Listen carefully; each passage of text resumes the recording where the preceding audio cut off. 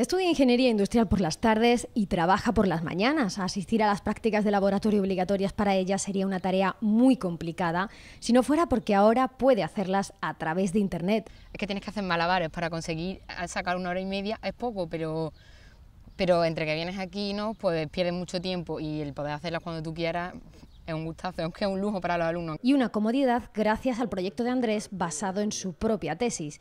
Aquí todos estos aparatos tienen su cámara y su iluminación para poder acceder a ellos a distancia y adaptarlos a lo que sería de forma real, como esta línea de embotelladora.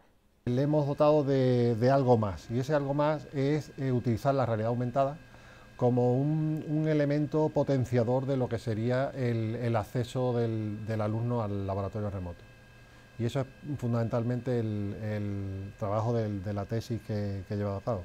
Por la que se ha llevado el reconocimiento de la mayor organización científico-tecnológica del mundo y que ha convertido a esta universidad en la primera a nivel internacional en ofertar este tipo de prácticas.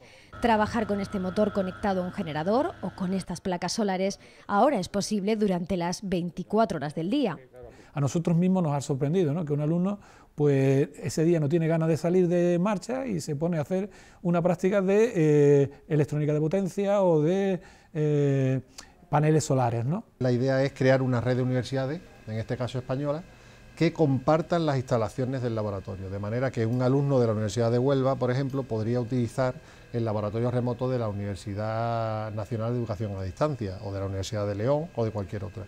Aquí compartir significa optimizar recursos. De momento ya se han usado durante buena parte de este curso en esta universidad y de cara al próximo año académico se ofertarán prácticas de más asignaturas y de diferentes especialidades.